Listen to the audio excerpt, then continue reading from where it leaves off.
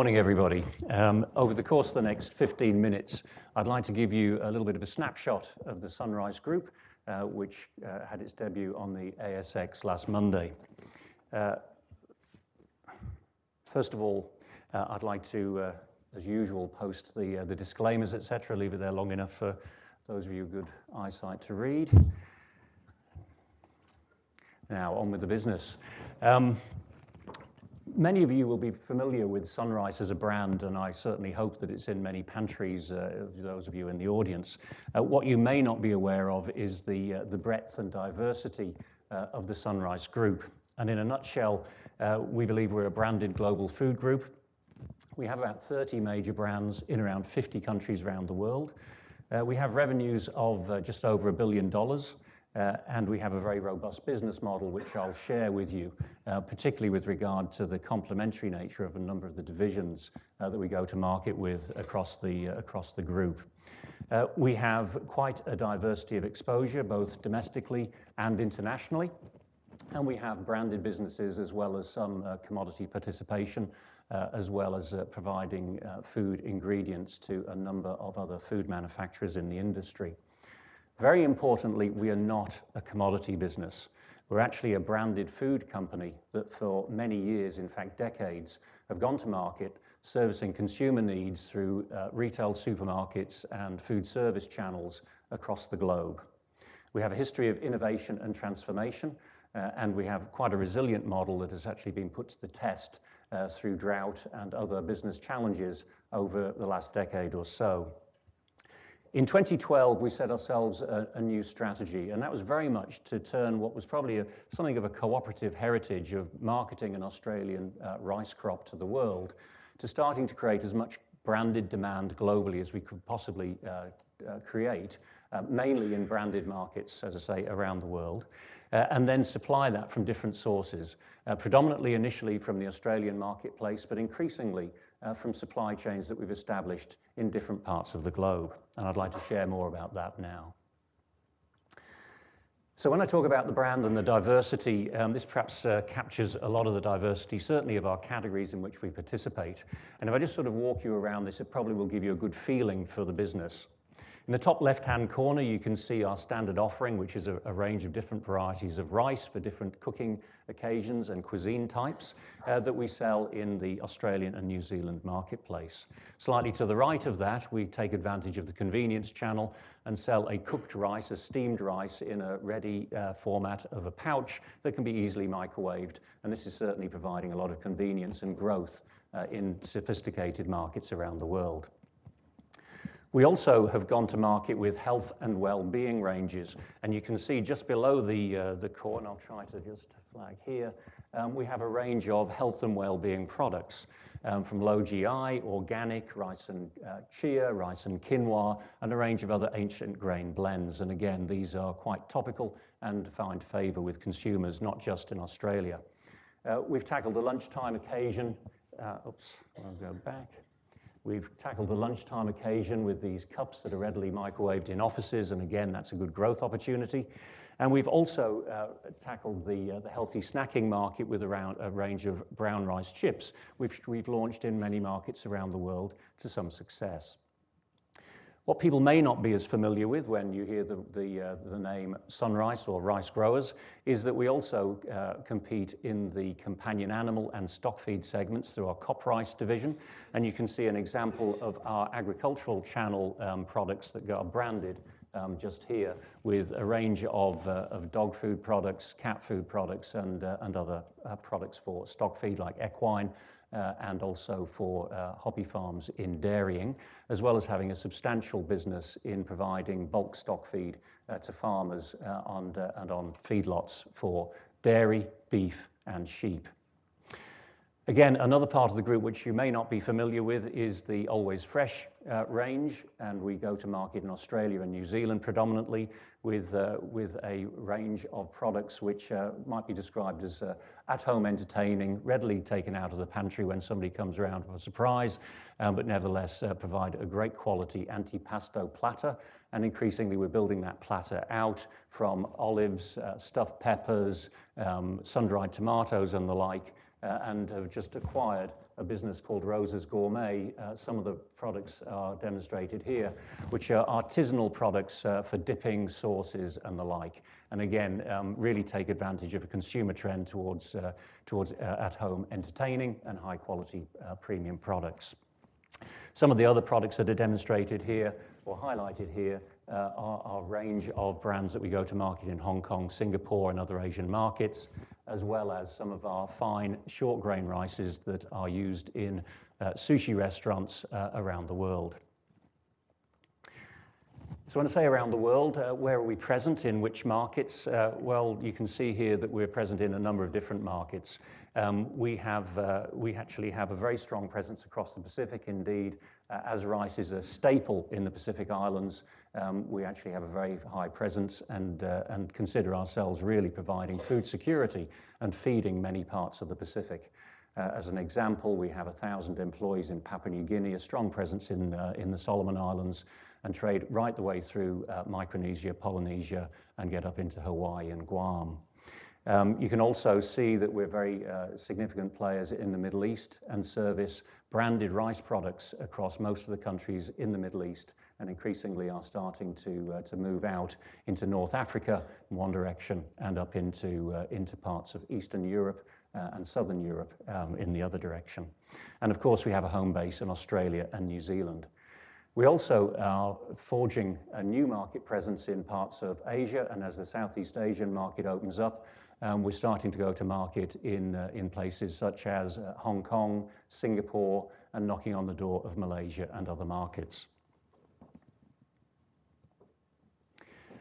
If I break down the group, and I mentioned uh, that we're complementary across a number of the different divisions, um, the business uh, we think of is, uh, as going to market, first of all, in the rice pool. So this is the heritage business that uh, effectively takes the rice that is grown in New South Wales in the Riverina and goes to market largely on behalf of a pool return for the growers who are rice growers. Um, that is, uh, we talk about rice in the form of paddy, paddy rice when it is harvested, and then milled rice once we've processed it and sold it. Um, now, this part of the business, as I say, largely returns to the farmer at farm gate, but nevertheless, um, actually contributes to the profitability of the business in three different ways. Uh, first off, uh, whenever we go to market uh, through the brand, um, then there's a brand charge levied against the pool return for the farmers at farm gate. Um, when we use the assets, there's an asset finance charge, which again contributes to profit as the pool utilizes the assets of the business. And there are also shared overheads where um, a number of the overheads in the group are shared across the rice pool and, of course, across all of the other aspects of the business. You can see that our brands of Sun Rice and Sun White and Sun Long are brands that are certainly very familiar in consumer land as well as with a number of food service customers, and they, uh, they are uh, evident in the Australian New Zealand market as well as the other markets I touched on earlier. When it comes to international rice, uh, we actually have a, business in Sacramento, in California, and that business is called Sun Foods. Its results are recorded in the International Rice Division, as are the Solomon Islands, and as is our substantial business in Papua New Guinea. Um, we also um, have, uh, have presence um, in Vietnam, and I'll talk about that a little more later. But all of our sales from international sources of rice are recorded under the international rice uh, segment. When it comes to further value adding, and we start looking at snacking, rice flour, uh, and rice cakes, um, the manufacturing, marketing, and distribution of these value-added products is recorded under the rice food segment, and this is indeed uh, an area where we see very significant innovation and future growth. I talked briefly about the Riviana Foods business, high provenance products, uh, largely sourced out of Europe, but other parts of the world, imported and then sold into supermarkets and food service channels uh, in Australia. CopRice being the stock food business, uh, which is increasingly going into branded companion animal. And then in the corporate segment, this is where we capture the charges to the farmer for the use of assets, uh, such as the facilities and the brand that, again, I mentioned a moment ago. This operating structure um, provides a commercial resilience and protects the interests of B-class shareholders um, from, uh, from the uh, vagaries of Rice Pool. And I'll talk about the structure in just a second because we have a novel structure that takes, uh, takes a little explaining. Now, I've talked about the strategy since 2012 and the fact that we went to market to build the maximum amount of consumer demand we could across the globe and then work out where we sourced it from, not just Australian rice. And that strategy has led to some significant improvements in our financial performance. You can see that our group revenues have grown to over 1 billion and topped out just shy of 1.3 billion. Um, our NPAT over the course of the plan has moved from 23 million, uh, exceeding 50 million, and in the last financial year was circa 45 million. Our return on capital employed um, building to around about that 15%, and I'll talk about the FY 2017 year in a moment. And our dividends on a cents per share basis, um, topping out at 0.33 per share. Uh, and certainly historically, when I look at the share price over the plan period that's uh, demonstrated here, that's been about a 7%-8% fully franked um, dividend yield. So, what happened in FY 2017? I mm. described the fact that we have a business that is uh, largely the heritage business of the pool of rice that's grown in the Riverina and marketed around the world, and then all of these other businesses that generate uh, returns in other parts of the world. Um, clearly, when we have a low Riverina crop, a low crop in Australia, um, the uh, the ability to absorb overheads through facilities that are underutilized diminishes. Uh, and in the FY17 year, we saw um, quite significant water shortages, uh, and we saw a crop that was about 25% of our normal crop harvested in that year. Um, what I think this chart shows is that despite that, we were able to leverage international uh, supply chains to largely fill the gap on those markets that could not be supplied, and we did so profitably. And if you think of a business having only a quarter of its inputs um, in a financial year and yet still being able to maintain its sales line and uh, see admittedly a diminution in the NPAT, but nevertheless to historically still a very creditable level, I think that demonstrates the resilience of the business even in times of uh, of drought. Fortunately, we bounced bounced back in the financial year 2018, uh, and we're close to finishing financial year 19. We're two weeks away from it. Um, but we are facing drought conditions again in the coming year, and I'll talk about that outlook in a moment. Of course, uh, that NPAT uh, reduction in the FY17 year also played through to the ROCE in that year, and you can see the recovery once we had a decent sized crop in the financial year 18. But Nevertheless, we had the commercial resilience to continue to pay a solid dividend, and indeed, during that period, our gearing actually dropped. I've talked a little bit about um, B shareholders. Um, we have a novel structure, uh, and this is really important chart to understand. We have a dual class share structure. We have A class shares, uh, which are held by active growers who have to qualify by growing 200 tons of rice every two years, and this recognizes the cooperative heritage of the group.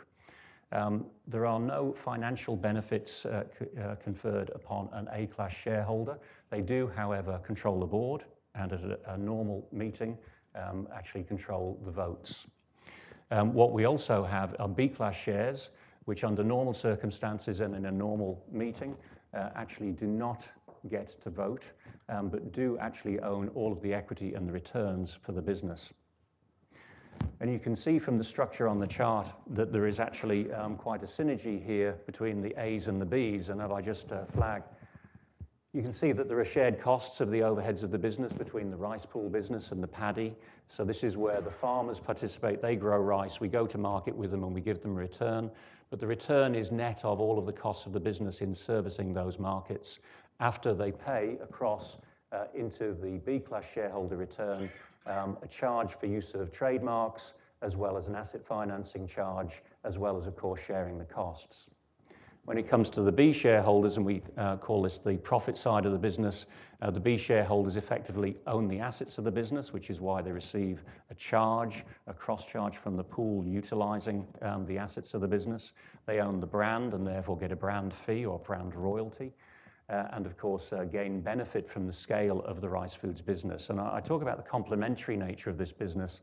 Um, when I showed the chart earlier of the globe with all of the different trade flows, historically, those trade flows were established by the rice pool business as a co-op went to market with rice to sell into these markets.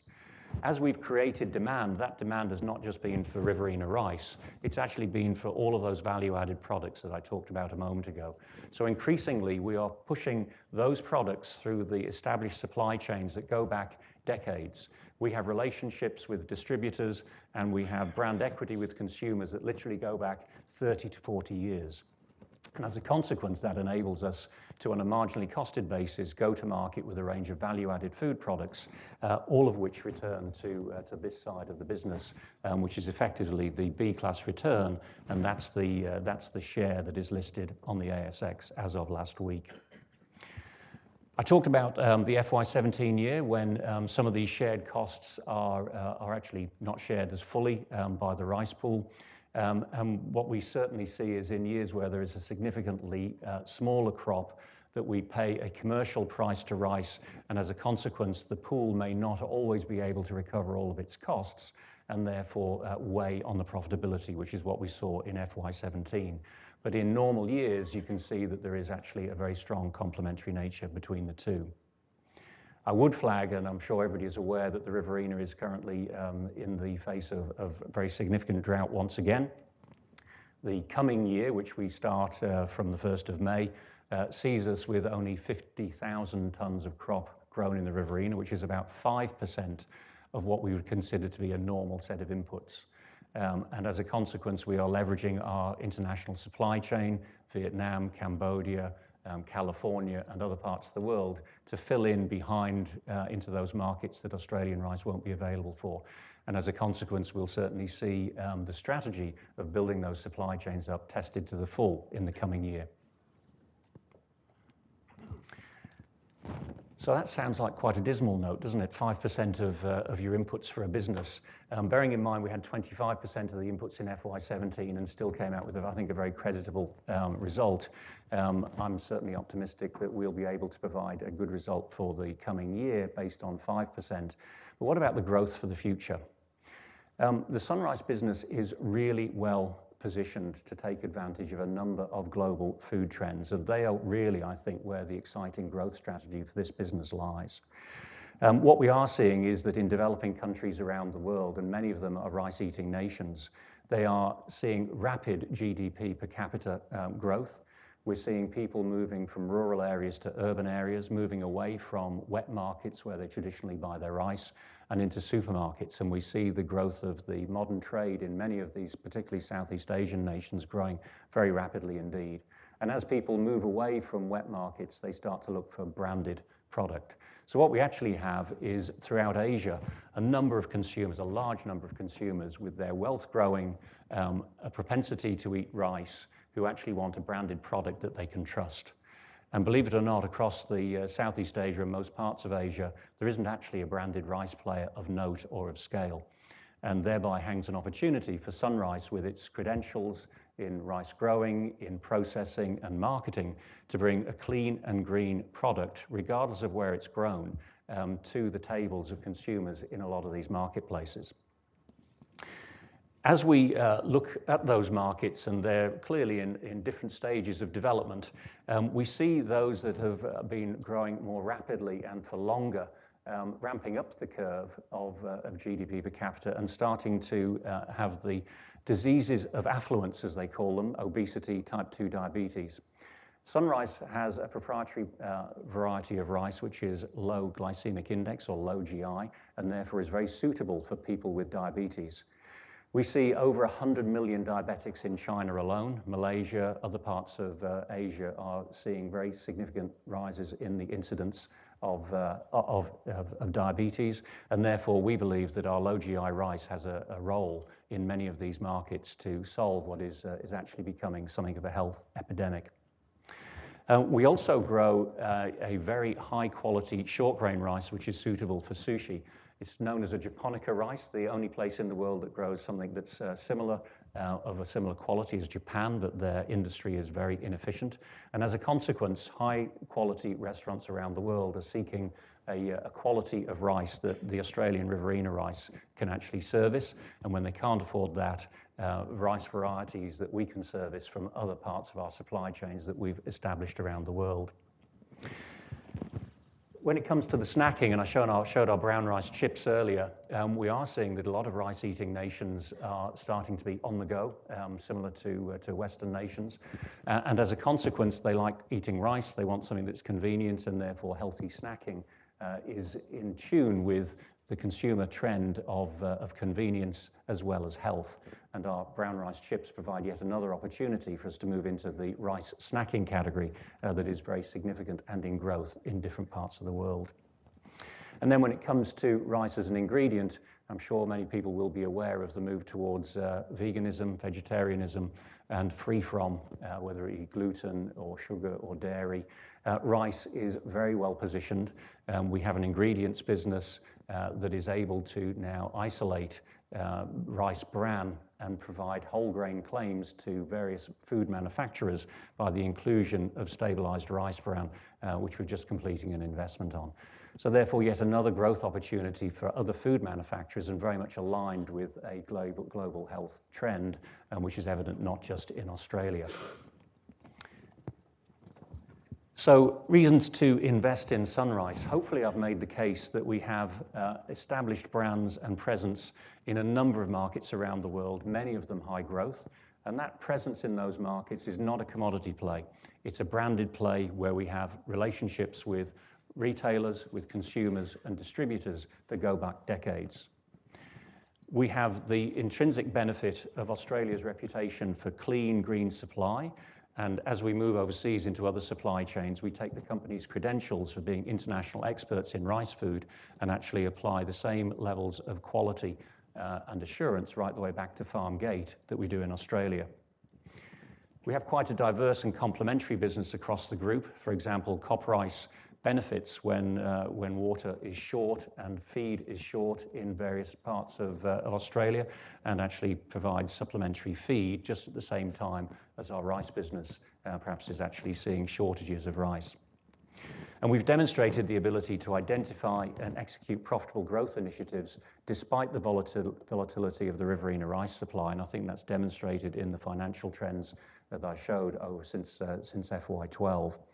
And we have in front of us a growth strategy which provides a roadmap for future growth and diversification, leveraging current global consumer trends, albeit that we do have um, a, uh, in the immediate future uh, the challenges of a very dry year in the Riverina. As I look forward to five years down the track, I think I see uh, our ability to transform what was a, heritage cooperative operating in, in the Riverina of Australia and exporting its products to the world um, a transformation into a company that actually is a rice food expert, uh, that is multinational, branded, has scale, and has market leading positions in various segments across multiple geographies, supplied from many different supply chains to provide a hedge for climate change and rice availability uh, that would otherwise plague the SunRice business if we had not taken those moves.